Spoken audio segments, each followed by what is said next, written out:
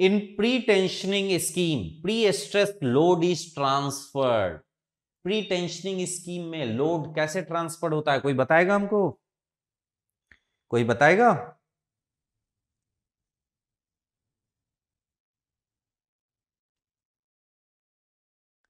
बताइए बताइए बताइए। I am waiting for your response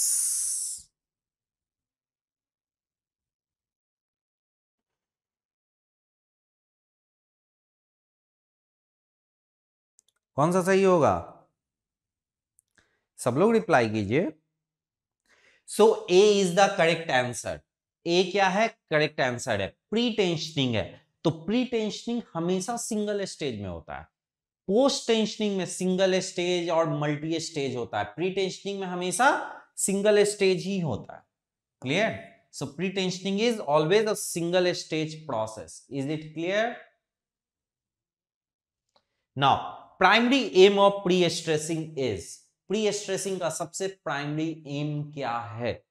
Eliminating crushing of concrete due to compressive stress गलत. Eliminating cracking of concrete due to tensile stress make the beam over safe none of the eliminating cracking of concrete due to tensile stress जहाँ tensile stress के कारण concrete crack हो जाता था, हम लोग पहले से ही प्री स्ट्रेस करके रखेंगे तो वहाँ पे क्रैक होने का चांस खत्म हो जाएगा। आया समझ में सबको? Good, good, good, good, good. Now, a concrete beam of rectangular cross section of 200 mm into 400 mm is pre-stressed with force 400 kilonewton at any eccentricity this the maximum compressive stress in the concrete is so cross section क्या है 200 by 400 200 by 400 और eccentricity कितना है? 100 पे है। So this one is 100 आपको maximum stress compressive stress निकालना है। क्या हो जाएगा? So P by A and plus P into e divided by I into y bottom बस, हम लोग निकाल लेंगे। P का वैल्यू दिया हुआ है 400 hundred into ten to the power three A का वैल्यू एरिया एरिया क्या है? Two hundred into four hundred plus four hundred into ten to the power three into eccentricity that is hundred M M divided by I so two hundred into four hundred का cube upon twelve into y bottom y bottom कितना हो जाएगा? Two hundred so this will give you stress निकाल लीजिएगा stress answer हमको याद नहीं है।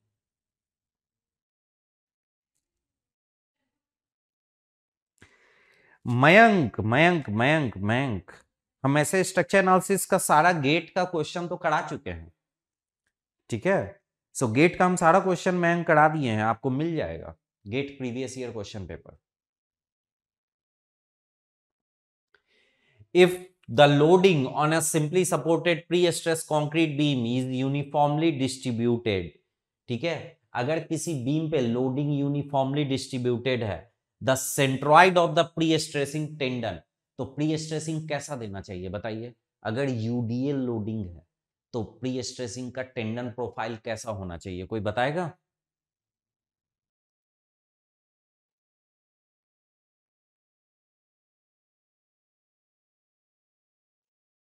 बताएगा? A parabolic profile a parabolic profile with convexity downward ठीक है?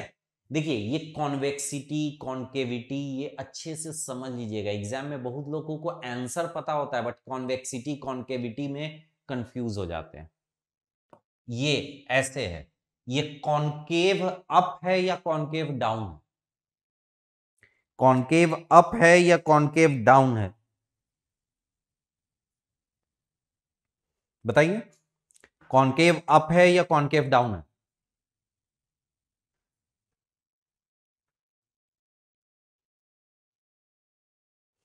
ये कॉन्केव अप है। This is concave up. ठीक है? ये कॉन्केव अप है।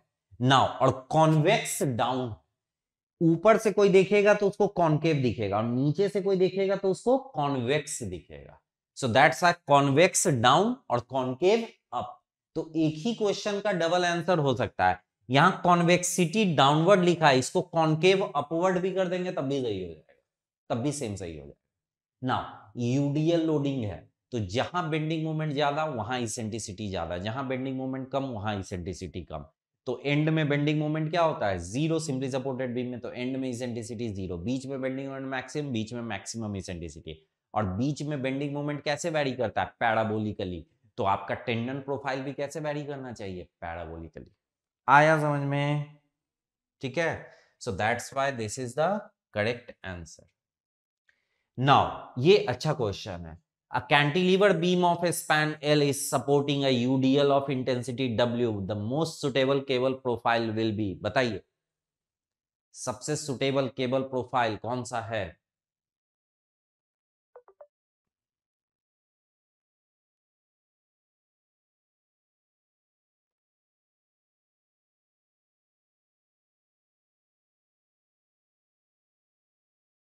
बताइए बताइए बताइए। सबसे सुटेबल केबल प्रोफ़ाइल कौन सा होगा? हम्म नहीं बन रहा है सबसे, नहीं बन रहा है। अनन्या रॉय, सर, इन आईआईटी में इंटरव्यू हिंदी में होता है? देखिए, बहुत सिंपल है। अगर सामने वाले इंटरव्यू बोर्ड वाले को हिंदी आता है तो अमेरिका में भी इंटरव्यू हिंदी में होता है। दैट इज़ वेरी सिंपल समझ में आया? क्लियर? सो so, इस पे डिपेंड नहीं करता है कि आपको कौन सा लैंग्वेज आता है। सामने वाले को अगर हिंदी आता है तो हिंदी में इंटरव्यू होता है ठीक है? चाहे आप अमेरिका में रहिए चाहे लंदन में रहिए कहीं भी रहिए। अगर इंटरव्यू बोर्ड के मेंबर को हिंदी आता है तो हिंदी में इंटरव्यू होता है clear? So this is very common problem students बहुत कंफ्यूज रहते हैं कि सर हिंदी में बोलना है कि अंग्रेज़ी में बोलना है? देखिए आप वहाँ अंग्रेज़ी बोलना भी स्टार्ट कीजिएगा ना, ठीक है? आप वहाँ पे अंग्रेज़ी बोलना भी स्टार्ट कीजिएगा और आपकी इंग्लिश अच्छी नहीं है, क्लियर? उन लोग को दो मिनट में पता चल जाता है कि आपकी इंग्लिश अच्छी नहीं है और उनको अगर हिंदी आता है तो वो ऑटोमेटिकली आपसे हिंदी में पूछ, ठीक है? तो आप आराम से हिंदी में बोलने लगे, ठीक है? इतना कोई टेंशन नहीं है। हाँ अगर इंटरव्यू बोर्ड में कोई है जिसको कि हिंदी आता ही नहीं तो देख के पता चल जाएगा आपको या देख के या एक्सेंट से आपको पता चल जाएगा कि हाँ अगर आप मान लीजिए साउथ में कोई कंपनी में जाके इंटरव्यू दे रहे हैं और वहाँ पे सामने में किसी को हिंदी आता ही नहीं है, तब तो आपको टूटी फूटी जो भी इंग्लिश आती है उसी में काम चलाना पड़ेगा ना। ठीक है, जो भी आता है। और टेक्निकल चीज़ तो इंग्लिश में बोल ही लेता है, लोग टूटा फूटा भी बोल लेगा, तब भी काम चल जाएगा इजेंट इट ठीक है? सो अभी मेरे साथ मेरे कंपनी में एक डिज़ाइनर काम करते हैं, बहुत एक्सपीरियंस्ड हैं, बहुत अच्छा नॉलेज है। ठीक है, बहुत अच्छा नॉलेज है उनको ब्रिजेस वगैरह का, ठीक है बट उनकी इंग्लिश अच्छी नहीं है। वो मैसेज वगैरह व्हाट्सएप पे हम लोगों को भेजते हैं तो उसमें पता चल जाता है हम लोगों को कि इंग्लिश पूरा टूटा फूटा है, उनका पूरा मतलब कुछ भी लिखा जाता है उनसे, लेकिन फिर भी मीनिंग हम लोग को क्लियर हो जाता है तो काम चल रहा है इजेंट इट सो लैंग्वेज बहुत बड़ी चीज़ नहीं है, ठीक है language is not very very important आपको लैंग्वेज के बेसिस पे कोई नहीं डिस्कालीफाई करेगा। ठीक है? आपको रिसेप्शन पे नहीं बैठना है ना आपको डिज़ाइन करना है। अगर आपको रिसेप्शन पे बैठाने के लिए हायर करेगा तो लैंग्वेज मैटर्स लेकिन आपको स्ट्रक्चरल इंजीनियर या साइट इंजीनियर के लिए हायर किया जा रहा है सो so, आपको as a civil engineer hire कर रहा है so language is not the barrier in India. India से बाहर जाइएगा तब भी डिपेंड करेगा कि किस कंट्री में जा रहे हैं कहाँ जा रहे हैं ठीक है? सो so, इन सब चीज़ों पे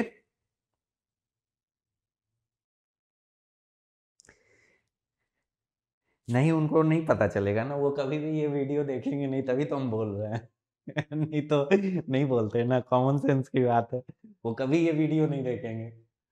ये एक एडमिक का है उनका एक्सपीरियंस अभी फिफ्टीन ईयर्स का एक्सपीरियंस है। तो ऑब्वियस ही बात है कि वो ये सब वीडियो तो देखेंगे नहीं। ठीक है? और उनको हम टाइम भी नहीं देंगे ना, उनको हम इतना काम दे के रखेंगे कि वो उसी में बिज़ी रहेंगे। उनको कहाँ टाइम मिलेगा ये सब वीडियो देखने का? ठीक है?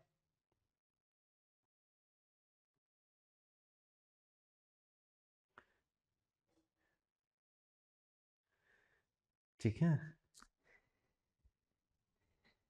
ना so I can beam of span L is supporting a of intensity thank you thank you thank you so most suitable cable profile will be तो ऑब्वियस ही बात है। देखिए बेंडिंग मोमेंट सैगिंग होता है तो इसेंटिसिटी किधर देते हैं? नीचे या ऊपर। सो बेंडिंग मोमेंट सैगिंग होता है तो इसेंटिसिटी नीचे देते हैं। बेंडिंग मोमेंट हॉगिंग होता है तो इसेंटिसिटी ऊपर देते हैं। कैंटिलीवर्ड है। बेंडिंग मोमेंट सैगिंग होगा या हॉगिंग हॉगिंग तो इसेंट्रिसिटी किधर होगा? ऊपर। तो ये नहीं होगा ये नहीं होगा। अब जहाँ बेंडिंग मोमेंट ज़्यादा वहाँ इसेंट्रिसिटी ज़्यादा। जहाँ बेंडिंग मोमेंट कम वहाँ इसेंट्रिसिटी कम। तो केवल इसी में है इसमें भी नहीं है। तो आपका सीधा सीधा पता चल गया या नहीं? आया समझ में? क्लियर हो गया? सो so, ये अच्छा क्वेश्चन नाउ, ये छोटा छोटा चीज़ था, इसलिए हम ढेर सारा क्वेश्चन एक ही बार में डाल दिए। क्लियर सो सिंपल है कोडल प्रोविज़न है, लेकिन याद होना चाहिए। Reinforcing bar in slab slab में रेनफोर्समेंट का डायमीटर मैक्सिमम कितना हो सकता है? डी बाई एट तो अगर 75 है तो 75 five by eight nine point something आएगा। तो नाइन पॉइंट समथिंग से ज़्यादा डायमीटर आप नहीं दे सकते हैं तो उससे कम देना पड़ेगा तो उससे कम कितना डायमीटर अवेलेबल है? So that is that is available only eight M ठीक है? That is available only eight M नहीं समझ में आया? हल्का। सिंपल है, जब सैगिंग बेंडिंग मोमेंट होता है तो इसेंटिसिटी किधर देते हैं हम लोग? डाउनवर्ड देते हैं। जब बेंडिंग मोमेंट सैगिंग होता है तो इसेंटिसिटी डाउनवर्ड देते हैं।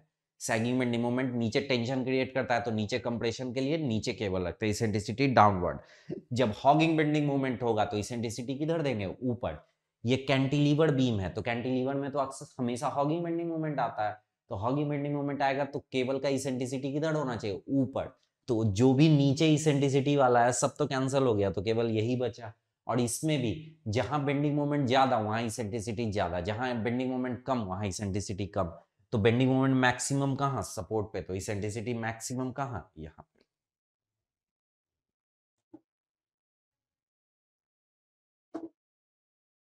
ठीक है? एग्जैक्ट अनन्या रॉय। नॉलेज इतनी बड़ी चीज़ होती है ना नॉलेज इतनी बड़ी चीज़ होती है कि लैंग्वेज वगैरह बैरियर ही नहीं बनता है। लैंग्वेज उन लोगों के लिए बैरियर है ना, जिनके पास नॉलेज का कमी समझ में आया? ठीक है? जिनके पास नॉलेज का कमी है, उन लोगों के लिए लैंग्वेज बैरियर है। जब आपके पास नॉलेज बहुत रहेगा ना तो आप जिस लैंग्वेज में बोलिएगा ना, लोग उस लैंग्वेज में आपके पास सुनने के लिए तैयार ठीक है? हम जिस डिज़ाइनर के बारे में भी बता रहे थे ना, थोड़ी देर पहले उनका नॉलेज ही इतना अच्छा है कि वो कुछ भी बोलते हैं हम लोग सब बात सुनते रहते हैं उनका। कुछ भी लैंग्वेज में वो बोले हम लोग सब समझते रहते हैं ठीक है? क्योंकि उनका नॉलेज बहुत अच्छा है सारा कोड वोड सब पढ़े हुए हैं वो ठीक है? सो दैट्स तो उनके नॉलेज का वैल्यू है ना। सो so, लेकिन कुछ पोस्ट कुछ जॉब ऐसा होता है जहाँ नॉलेज से ज़्यादा लैंग्वेज का ही वैल्यू होता है।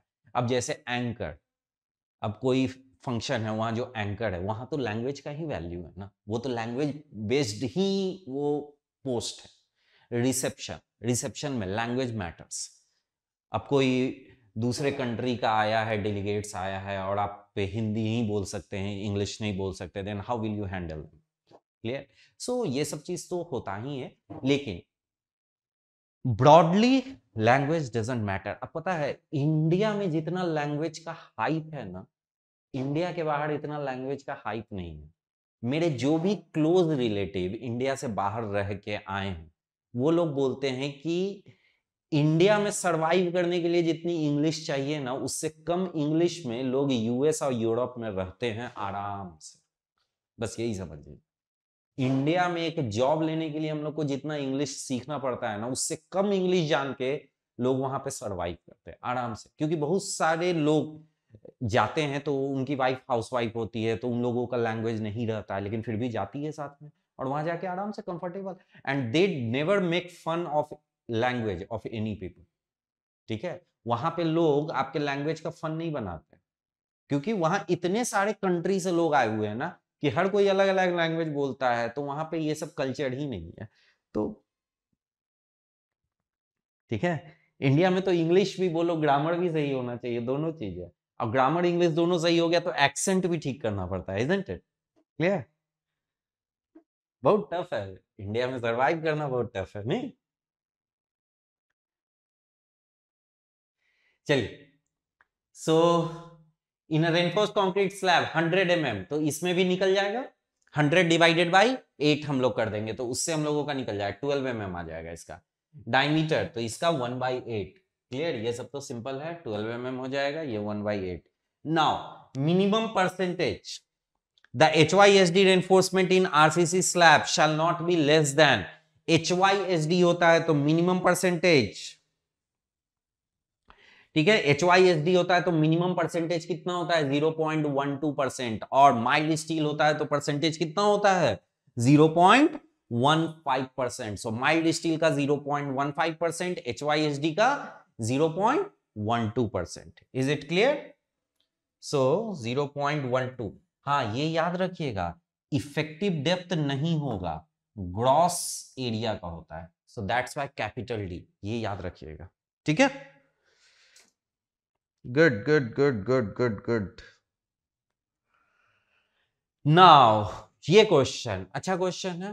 Consider the following statement with regard to crack formation and its control crack कितना विड्थ का क्रैक अलाउड है? That you have to know कि कितने विड्थ का क्रैक अलाउड है। Is it clear The surface width of the crack should not, in general, exceed 0.3 mm for structures not subjected to aggressive environment. तो aggressive environment अगर नहीं रहता है aggressive मतलब जो हार्मफुल है तो अग्रेसिव इन्वायरमेंट नहीं है तो कितना हम लोग परमिट करते हैं? 0.3 पॉइंट mm तक। अग्रेसिव इन्वायरमेंट है तो 0.2 mm तक और एक्सट्रीम क्लाइमेटिक कंडीशन है तो 0.1 mm तक आया समझ में क्लियर सो ये सही है when depth of web in a beam exceeds 750 mm side face reinforcement 0.1 percent of the web area should be provided on each face यही गलत है each face नहीं होता है equally distributed on both faces होता है आया समझ में एक फेस पे इतना टोटल साइड फेस एनफोर्समेंट देते हैं। इसको हम लोग क्या करते हैं? डिस्ट्रीब्यूट ठीक है? डिस्ट्रीब्यूट कर देते हैं। इतना को हम लोग क्या करते हैं? डिस्ट्रीब्यूट कर देते हैं। The nominal spacing of main bars in a slab should not exceed three times ठीक है? ये सही है। So one and three are correct scientific research, sir MTech में फाइनाइट एलिमेंट मेथड समझ नहीं आ रहा। अच्छा एमटेक में फाइनाइट एलिमेंट नहीं समझ में आ रहा। पहले हमको ये बताइए कि गेट में जो रैंक लाए थे, ठीक है स्ट्रक्चर का पेपर पढ़ के लाए थे, कि सॉइल इरिगेशन हाइड्रोलॉजी ये सब पढ़ के लाए थे। अगर ये सब पढ़ के लाए थे गेट में रैंक तो अब सी बात है एमटेक करने में तकलीफ़ तो होगा ही। हम्म? ठीक है? एमटेक स्ट्रक्चर से करने के लिए बीटेक में स्ट्रक्चर पढ़ना पड़ता है। इवन दो कि आपका रैंक बहुत अच्छा है, ठीक है? रैंक बहुत अच्छा भी है, लेकिन आप स्ट्रक्चर पेपर को कम पढ़ के रैंक बहुत अच्छा ले आए ना तो एमटेक में तकलीफ़ होता है। समझ में ही नहीं आता। मैट्रिक्स वैट्रिक्स जब स्टार्ट होता है ना एमटेक में, समझ में ही नहीं आता। है डायनेमिक्स वगैरह स्टार्ट होता है, बहुत दिक्कत होता है। मेरा आईटी दिल्ली से एमटेक था तो उसमें बहुत सारे बच्चे आए हुए थे, बहुत सारे मेरे फ्रेंड थे। तो उन लोगों का भी रैंक उतना ही था जितना मेरा था। ठीक है मेरा सेवनटीन रैंक था तो किसी का ट्वेंटी रैंक था किसी का थर्टी फाइव रैंक था तो ठीक है उससे कोई अंतर नहीं पड़ता कोई सत्रह रैंक और ट्वेंटी फाइव रैंक में कोई नॉलेज में बहुत डिफरेंस नहीं होता। लेकिन डिफरेंस ये था कि मेरा 17 रैंक स्ट्रक्चर के चार पेपर को अच्छे से करके लाए थे हम। और वो लोग क्या किया था? आ, वो लोग दूसरा सब्जेक्ट सब पढ़ के ज़्यादा लाया था, जैसे हाइड्रोलॉजी इरिगेशन वाटर रिसोर्स ये सब पढ़ के जो है ना अच्छा रैंक ले आया था। ले आया आईआईटी दिल्ली में स्ट्रक्चर मिल तो गया बट संभालने में दिक्कत हो जाती है। ठीक है? कोई बात नहीं साइंटिफिक रिसर्च मेहनत कीजिए, हो जाता है। ठीक है? ठीक है? यहाँ मेहनत कीजिए, हो जाएगा हो जाएगा। डोंट वरी आ, ये क्वेश्चन तो हम इनलार्ज करना भूल गए इसको। In case of pre stress concrete beam the lever arm pre stress concrete beam में लीवर आर्म बताइए कांस्टेंट रहता है या वैरी करता है? प्री स्ट्रेस कॉन्क्रीट बीम में लीवर आर्म वैरी करता है या कांस्टेंट रहता है? गोपी राम क्या क्वेश्चन पूछे भाई आप?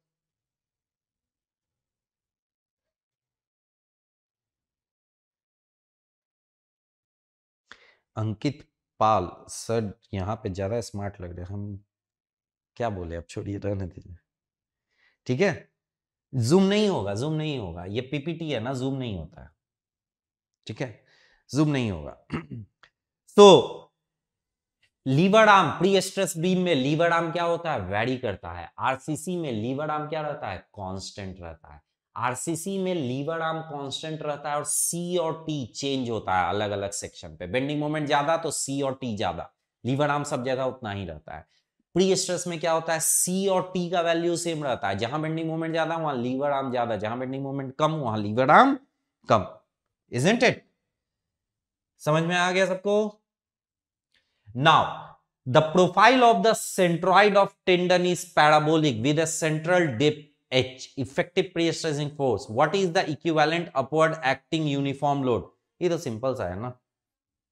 Eight P H upon L S इस पर तो हम लोग दो दो क्वेश्चन भी कर लिए। ये गलती से ये क्वेश्चन आ गया। हमको दूसरा क्वेश्चन डालना था, ये डाला गया। हम सोचे थे डिफ्लेक्शन का क्वेश्चन है ठीक है? Now next consider the following statements the minimum steel requirement of slab are based on consideration of shrinkage and temperature effects alone and not on strength ठीक है? सो so, ये सही है या गलत है? सो so, ये सही है। जो मिनिमम का क्राइटेरिया है ना वो टेम्परेचर श्रिंकेज के क्रॉसपॉन्डिंग है। स्ट्रेंथ के क्रॉसपॉन्डिंग नहीं है। अगर आपको स्ट्रेंथ में चाहिए तो और ज़्यादा देना पड़ता है।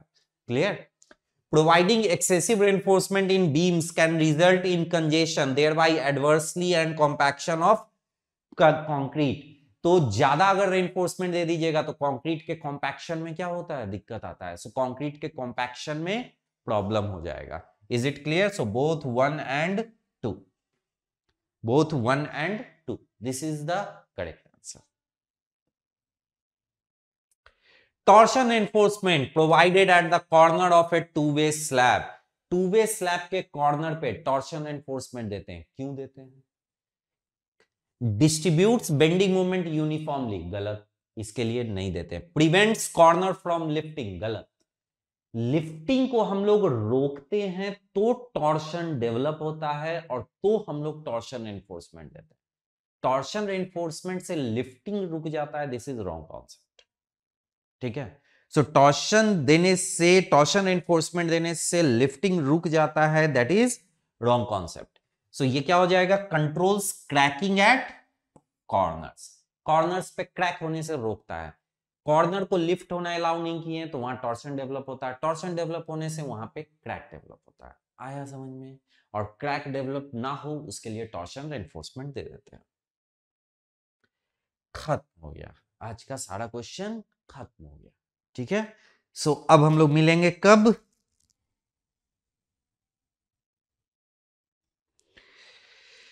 Thank you Tabrez thank you thank you अभी देखिएगा इस साल में 2022 में इतना ज़बरदस्त स्ट्रक्चर का चारों पेपर प्लान करके आप लोगों को पढ़ाएँगे ना, इतना अच्छे से।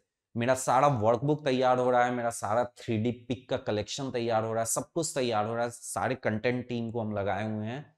सो एकदम अच्छे से ऑनलाइन प्लेटफॉर्म पे जैसे बताया जाता है मतलब ऑफलाइन में पढ़ाने का वे अलग होता है और ऑनलाइन में पढ़ाने का वे अलग होता है। सो हम लोग ऑफलाइन से ऑनलाइन में आए ना थोड़ा ट्रांजिशन पीरियड में चीज़ों को और प्रिपेयर करना पड़ता है। तो उसके लिए थोड़ा टाइम लग गया बट धीरे धीरे ऑलमोस्ट सब चीज़ प्रिपेयर हो गया है। सो so, अब कमिंग सेशन में जो है ना मेरा इतना अच्छा वर्कबुक आएगा कि आप लोग बस उस वर्कबुक को बना लीजिए आपका चार सब्जेक्ट एकदम स्ट्रॉन्ग कहीं कोई प्रॉब्लम नहीं। हो सकता है उस बुक को हम पब्लिश भी करें ठीक है बहुत अच्छी से बुक बना रहे हैं बहुत ही अच्छे तरीके से बहुत ही और एकदम एरर फ्री हमको एरर पसंद नहीं है तो इसलिए हम पूरा ट्राई करेंगे कि एरर फ्री हो। एक बार में तो एरर फ्री करना बहुत मुश्किल है लेकिन हम पूरा ट्राई करेंगे कि जितना ज़्यादा से ज़्यादा एरर फ्री कर सके। ठीक है एक दो राउंड पब्लिश हो जाएगा मेरा वर्कबुक तो उसके बाद तो एरर फ्री उसको कर ही देंगे। ठीक है सो so, मिलते हैं कल कल फिर से इसी टाइम में। ठीक है? कल फिर से हम लोग इसी टाइम में मिलेंगे। सात बजे आ जाइएगा टाइम से आप लोग आइएगा लेट कर देते हैं। स्टार्टिंग में बस कम लोग रहते हैं, बाद में फिर धीरे धीरे बढ़ते हैं सब लोग। स्लैब में 450 फिफ्टी mm डेप्थ नहीं होगा।